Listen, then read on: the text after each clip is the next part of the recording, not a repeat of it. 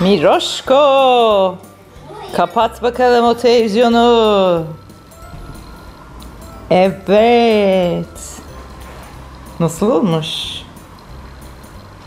Süper. Süper vallahi ben de çok beğendim bu sefer. Yani kendi yaptığım şeyi çok Yalnız beğendim. renkler tersten. Tersten mi? Olsun. Böyle olması gerek. Ben ters istedim gökkuşağın. İstediğim gibi yaparım. Benim gökkuşağım bu. Bak böyle Özgürüm. Özgürüm. İçine de sana yeni aldığımız kalemleri koydum. Aç bakalım. Ama vallahi güzel çanta oldu. Ya Aa, canlarım benim. karikatür kalemlerin. Evet karikatür çiziminde kullanacak. Kalemlerinin çantası oldu Mira. İzleyelim mi bunu nasıl Arkadaşlar, yapmışım? Ben karikatür çok seviyorum. Evet onun için sana özel çanta yaptım. Haydi bakalım kalem kutunun nasıl yapıldığını Ama izleyelim. Arkadaşlar siz bunu merak ediyor musunuz? O zaman şimdi video izleyelim. Dön.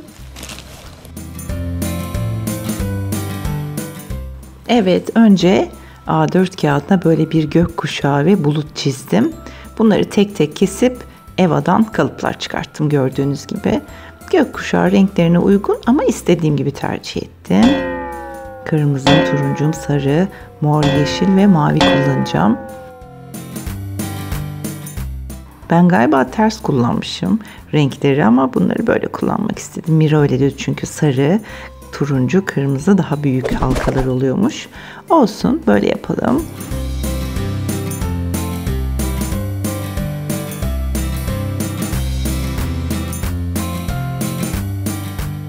Şimdi bu e, bulutu bu saç düzleştiriciyle birazcık ısıtarak böyle kabarık hale getireceğim. Evet gördüğünüz gibi biraz kabarmaya başladı. İçe doğru kenarları büküldü. Şimdi gökkuşağı renklerinde de aynı şeyi yapıyorum. Hepsi kabarık kabarık olacak.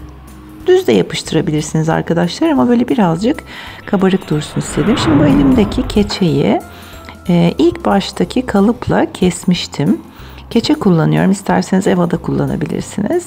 Şimdi böyle bir kalıp e, düzeltmesi yapayım. Bakayım yapışacak yerlerini belirliyorum. Bu keçenin üstüne bunları silikonla yapıştıracağım. Sıcak silikon kullanıyorum. Siz normal tutkalla da yapıştırabilirsiniz. Sıcak silikon kullanırken lütfen çok dikkatli olun olur mu? Evet böyle kenarlarına bolca silikon döküp dikkatlice yapıştırıyorum.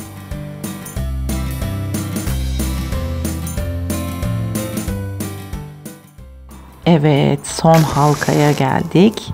Kenarlarına böyle e, dikkatlice sürüyorum. Birazcık gözükebilir silikonlar.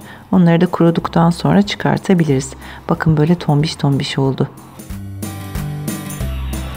Şimdi bir şerit halinde kestiğim keçenin tam ortasına bir kesik atıyorum.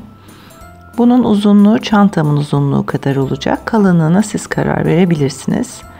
Şimdi fermuarımı yapıştıracağım tam bu kesiğin ortasına. Evet önce biraz açıyorum ki daha rahat yapıştırayım. Çok o e, fermuar dişlerinin üzerine gelmesin silikonlar ve keçe. O zaman açamazsınız. Zor açarsınız çantanızı.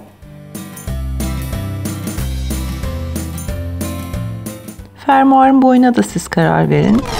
Büyük ya da küçük yapabilirsiniz. Evet şimdi ön kısmı bitti. Bu fermuarlı kısmı bütün gökkuşağının etrafına silikonlayacağım.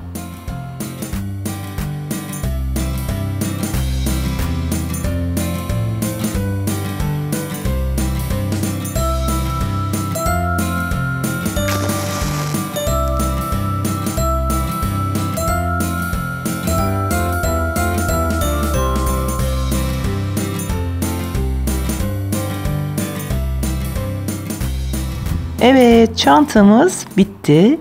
İçine istediğiniz gibi ister kalemlerinizi ister defterlerinizi doldurup dışarı çıkarken yanınızda taşıyabilirsiniz. Şimdi bunu Mira'ya verelim bakalım beğenecek mi gökkuşağı çantayı? Hı? Ne dersiniz?